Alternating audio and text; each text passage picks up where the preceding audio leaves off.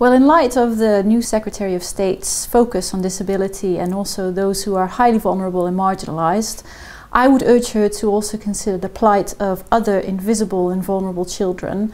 Inclusive development re means reaching out to all children, and that includes those who are living on the streets, living in institutional care, or, or without family care. And the UK has an important role to play in this to ensure that all human rights are met.